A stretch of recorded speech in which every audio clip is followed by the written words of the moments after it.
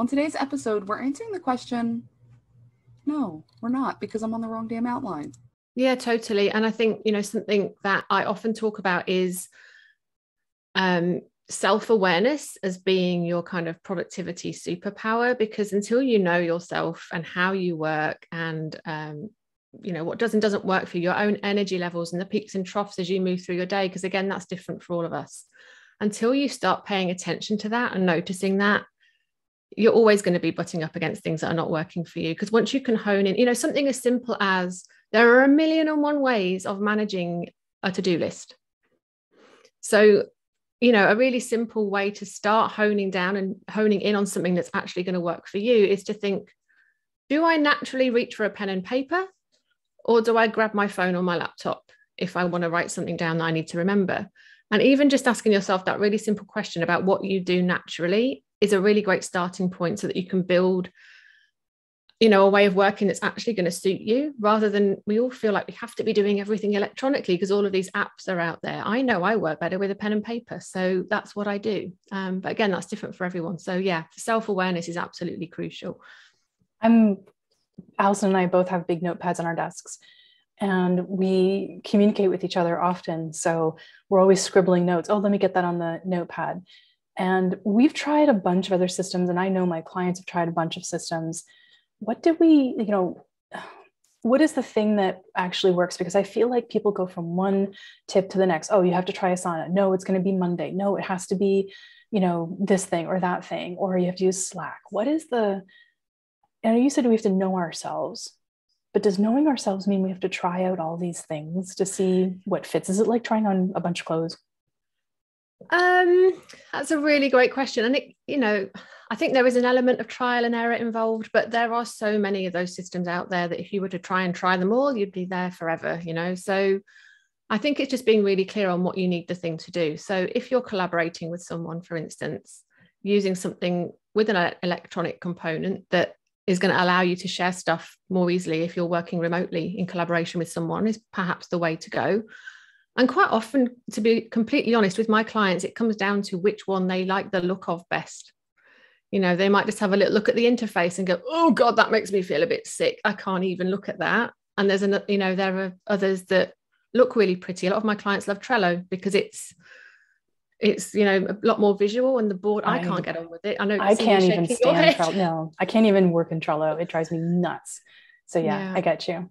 I'm more of a list yeah. person. Yeah, totally. I'm the same. Um, so no, you don't need to try them all. Just get really clear on what you need the thing to do. You know, what it is that you're trying to get from it. And then I would just say, pick one. Give it, give it a chance to work. Um, see how you go and see what you can learn from it. And if it's working good enough, then great. You know. What about when the thing that works for you the thing that you naturally reach for. I was thinking about this when you said, What do you naturally reach for? And I usually reach for a, a pad of paper because, like Jennie said, now if I'm out, I actually will send myself an email so that it pops up if I don't have paper. But what if, like, that just doesn't work? Like, it doesn't have a system behind it, it doesn't fit into a process, it requires manual touching all the time and you can't actually then grow so then it becomes where your to-do list or whatever is is actually the point of overwhelm for you. What what then? Yeah uh, that's a really really great point because i think a lot of people do exactly that. They've got a system that's maybe working for them and then all of a sudden they find themselves in a situation where they don't have access to that system they try something else and you end up completely overwhelmed. And you know my what that used to look like for me when I was in my job before I started doing what I do now. Um, every time someone would appear in my office door, which was all the blooming time, um, they would ask me to do something. I would just grab a, a scrap of paper, scribble on it, put it on my desk. And then five minutes later, something would be on top of it. And I'd have post it notes stuck everywhere. It would, it, and that was exactly as you were saying, causing my overwhelm.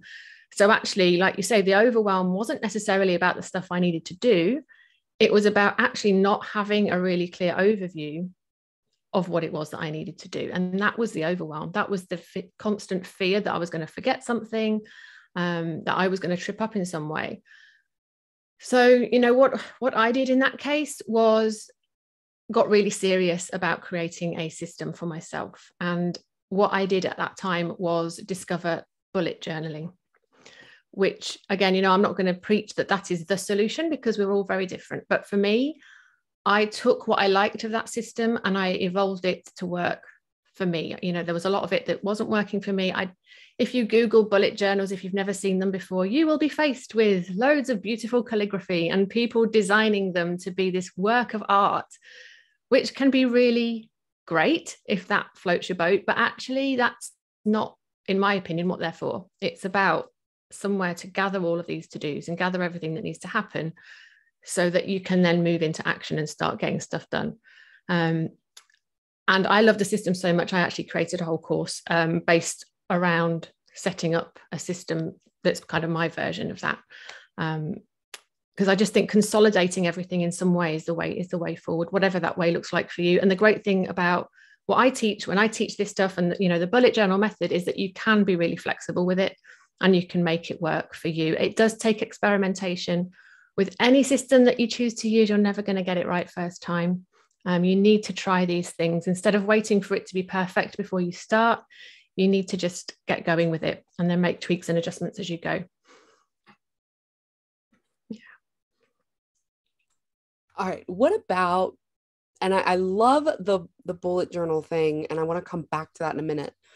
But I'm kind of stuck on what we were talking about before, where Jennie and I collaborate a lot. And, you know, I'm growing my team, and our listeners will probably be growing their teams. What about when you're collaborating with someone, either from a team perspective or as a partner, and they operate differently?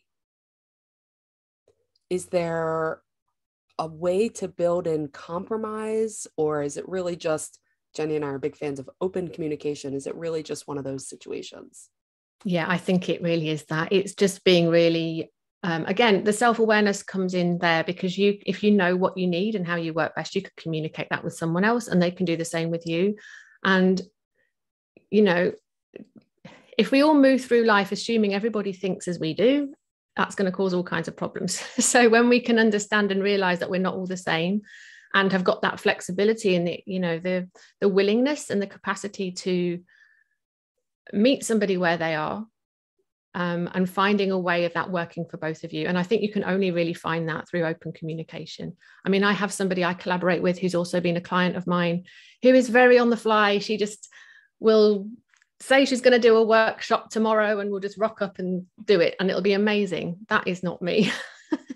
um, I need a lot of time. to I just got think, hives thinking about yeah, exactly. And I just got excited.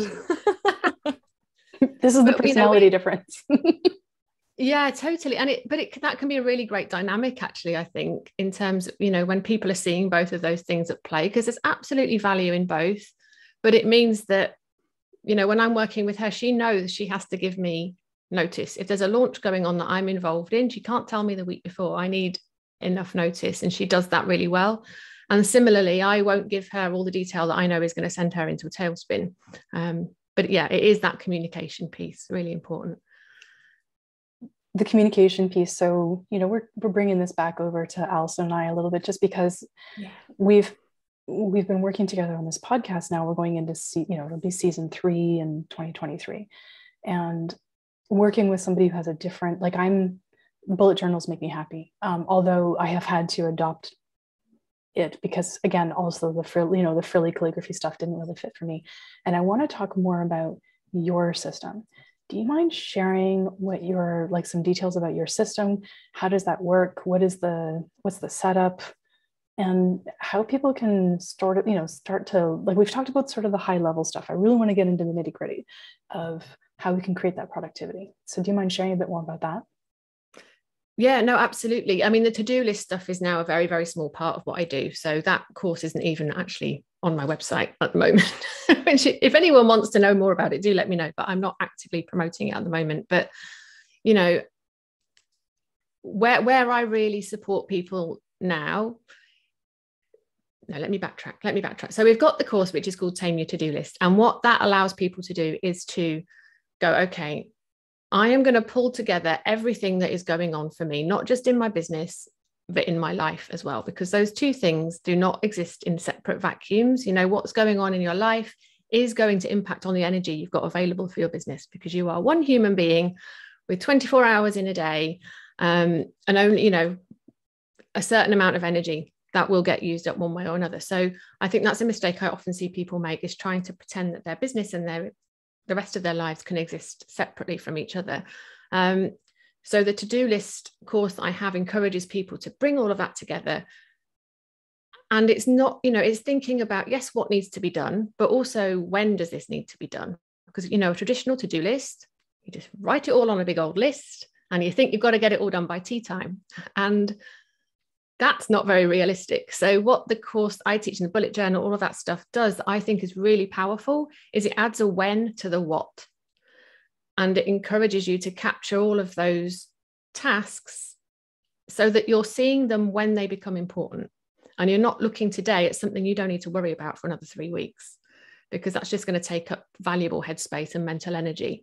So that's what I really love about it. It's a it's a really neat way of capturing everything that's important and again, one of the very first things I really encourage people to do with this is to look at what's on their list and go, is this really important?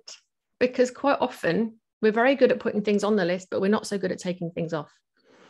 Um, you know, I once had someone go through the course um, who had had something on her list for three years that someone had asked her to do three years ago. It was a family thing, so it wasn't a work thing. It had never been mentioned again. She hadn't done it. And every time she looked at it, she felt terrible. So having permission to remove that from her list, honestly, that the lightness and the energy that that gave her was really astonishing to witness when I saw her on that on the call that we were having. So remembering it's okay to take things off the list, evaluating whether these things are still important, and thinking about when they're going to happen as you're putting all this um, in place and consolidating everything is what's going to make the biggest difference, in my opinion.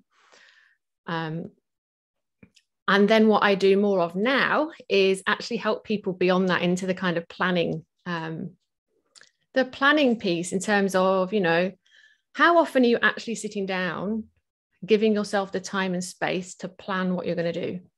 I think quite often as business owners, particularly when we're when we're overwhelmed, our, our tendency is to want to speed up keep our heads down and just keep going. So I am all about, and this is where the alliteration is going to come in, Alyson mentioned earlier. I am all about taking a purposeful pause for powerful planning. So that's very much what I'm preaching these days. Yeah. My nostrils